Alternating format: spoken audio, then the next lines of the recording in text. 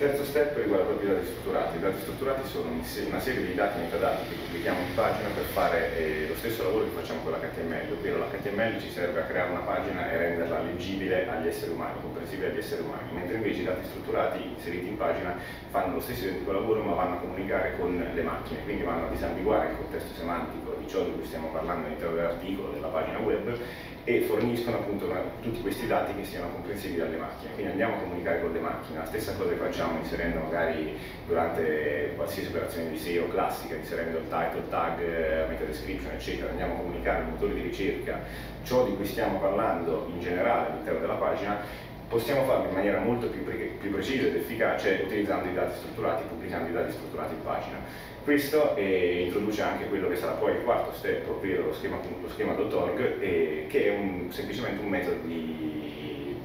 diciamo, di standardizzazione di questo concetto.